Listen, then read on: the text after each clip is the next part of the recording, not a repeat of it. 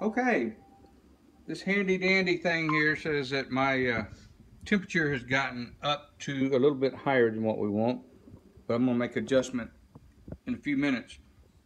But we're at 283 and our set temperature is 275. This alarmed and said we're ready to put this brisket on that pit. Now, remember, the fat side, this is a fat side, the stuff we trimmed all the fat off of, fat's got to be pointing up. So we're just going to take this on out the door and we're ready to start our brisket. It's at room temperature, the brisket is. There'll be a weight of some sort here to not get the juices going all over the floor.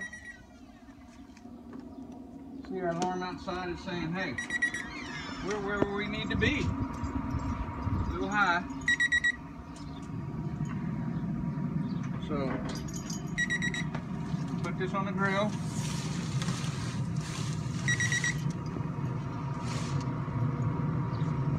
We're gonna put this temperature probe inside the meat because we want it to be 160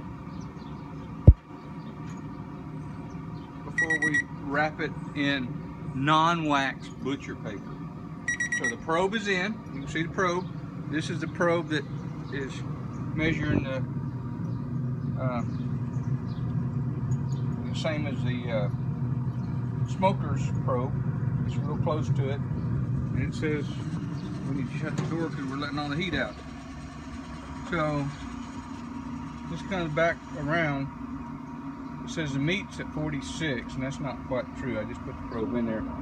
It says because my door was open, we were at 244. It says we're 268 there. We need to be at 275. See the temperature starting to rise, raise up because we shut the door, and it's going to get back up there. So now we're, that said 250. We're just a few degrees apart. We're going to cook it for maybe four hours. When that internal temperature says 160, we're going to come back out here and wrap it with butcher paper, non-wax butcher paper that allows it to breathe and not steam. So we're 257, we're gonna kind of watch this, but anyway, we'll be back in four hours to wrap it and show you what we do. All right, thank you for watching.